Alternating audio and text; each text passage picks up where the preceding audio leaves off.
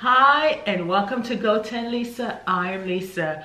It's Easter weekend, and I am going to share with you, I could share 10, but I'm actually going to share two of my favorite Easter tradition, traditions. One of them, as a Jamaican, if you are Jamaican or know of a Jamaican, you know what the first one is.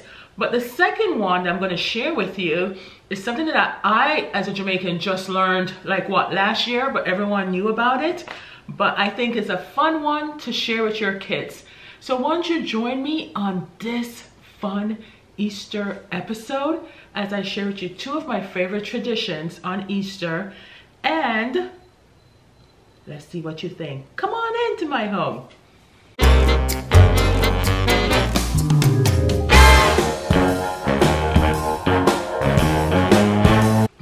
Okay, when I just came from the store, and I will tell you what the number one tradition is. As a Jamaican, because not all Jamaicans, you know, um, celebrate Easter, you know, the Rastas, there's a whole story on Rastafarians and why they don't celebrate Easter. And someone in the store, a Jamaican guy, was just telling me about it. Uh, so check that out. And maybe I'll talk about it on my podcast. Be sure to check that out on Go 10 Lisa Podcast, available on any podcast app. I'll probably do that um, one day. But my number one tradition of all traditions everyone know is bun and cheese. That's right.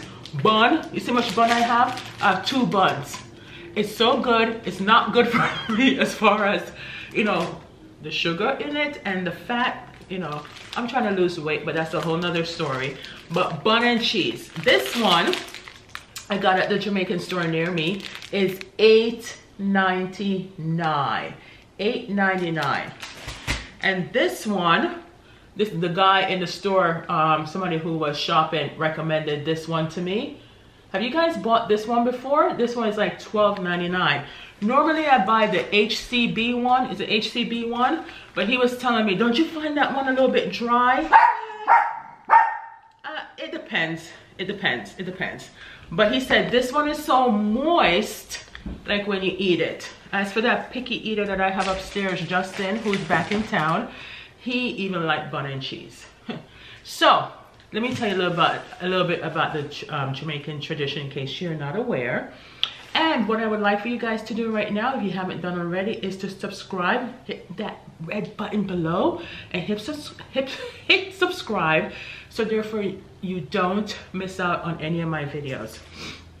So there is a cheese, a Jamaican cheese that goes along with any bun that you like because there's so many variations of bun. And the other day I saw a bun for like 20 something dollars. I said, when the hell did the bun become so expensive? Is bun becoming a commodity? Is bun coming out of style? Or is the demand for bun so high that it raised up? So I'm glad that, you know, normally I buy two for the house. Some people have more. It usually goes like this. It is a tradition in Jamaica where we typically eat the bun on Good Friday, the Saturday after Good Friday, leading up to Easter.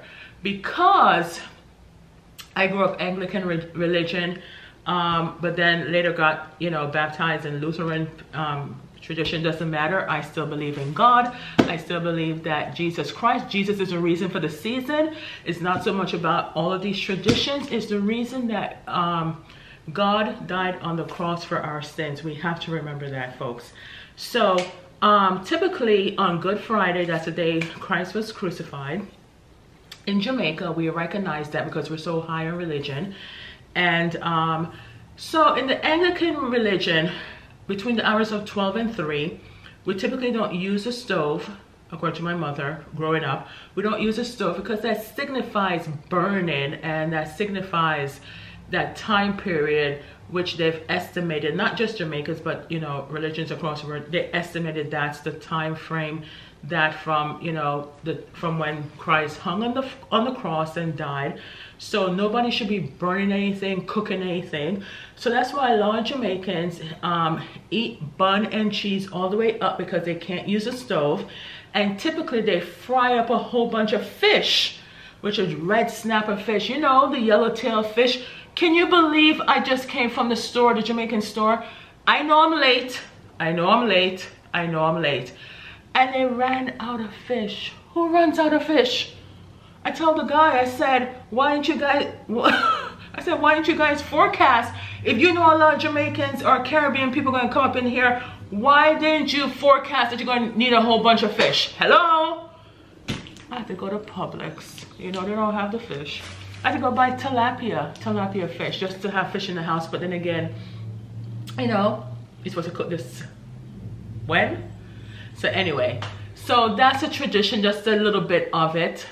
I can go in depth about it on my podcast or another video but today I just want to make this a quick video to show you my two favorites. So there you have the bun and we have the cheese and there is a Jamaican cheese that people typically eat with the bun. That cheese is usually so expensive it comes in this big everlasting can that you have to cut open. I remember them trying to cut it when I was growing up and it's so expensive to the point that they only sell like a triangle of the cheese in the store for like what four dollars four fifty and up for a little piece of triangle. And it to me is a little bit saltier. And the guy in the store was telling me that um, he doesn't use the cheese either. So you know what I use? What kind of cheese I use? Cracker Barrel. Sharp sharp cheese is what I use or any sharp cheese. I kind of like this with the bun right? This is a little bit expensive too it's like four something. So the difference between this four dollars and something cents versus a triangle but can't blame the hustle. So anyway that is my favorite um, tradition. All Jamaicans who whether you celebrate it or not, you know about it. Bun and cheese, bun and cheese. So I'm gonna cut my bun and cheese. And if you wanna see a video of me on my with my bun and cheese, check out last year's video. Scroll down to my playlist that I have Jamaica and look it up there and you'll see the video that what I did last year with me eating the bun and cheese. My second tradition, which I didn't know about, but I think is a fun one for you guys to do with your kids, and I'm going to show the video after this because I actually did it on Good Friday. And lots of people don't know about it and lots of people don't do it anymore. And I was thinking before I did this video, why don't they do it anymore? I know why. Because in Jamaica, they have large families back in the day. So I guess they were saying, why are you gonna waste an egg? Why are you gonna waste an egg when we could eat the egg? just to do this. So I'll just, I'll just tell you right now, folks, um, you're gonna waste an egg, actually the egg yolk, and this all requires a glass with water and egg white. So this has been sitting overnight now. I don't know if you guys can see. And let me tell you something. I'm gonna show you the video right now and what I'm talking about, but let me just give you a quick recap it's a Jamaica has so much I don't want to say superstitious but they have so much rituals or so much things. There's a word for it there's a correct word for it that people do right? And some majority of times we're right right? But with this one you crack the egg white into the water and then you watch it to see what it forms into.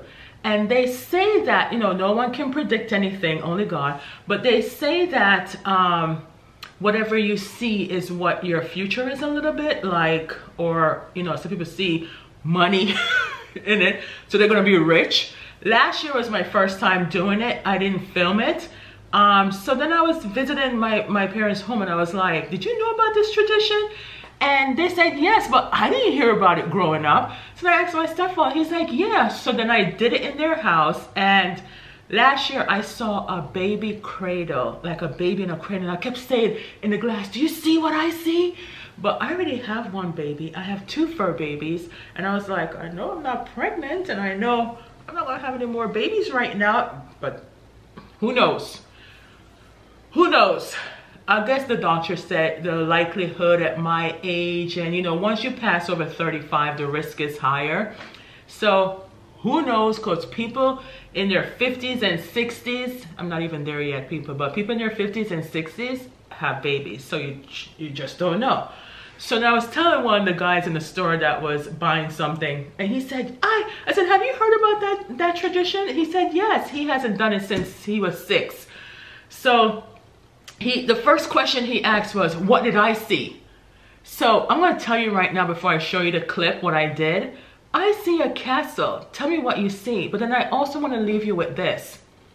Beauty is in the eye of the beholder. I say that to say is whatever the beholder or the one cracking the egg is going to see. You understand me? But I'm just so curious as to what you guys see. I see a castle.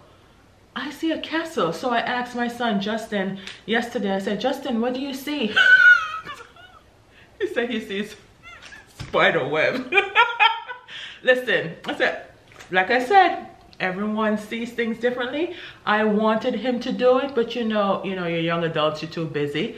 So anyway i just want to come on real quick in this easter weekend and maybe it's something fun you can do with your kids or even with your family and just look at it and see what it is that you see.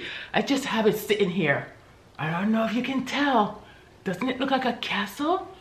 Like i said first i thought it was something on a water or whatever but i'm going to show you the video right now I hope you guys enjoyed this video. Comment down below and let me know what are the traditions that you do in your household for Passover, Easter, or whatever it is. What are the two of your favorite or three or 10?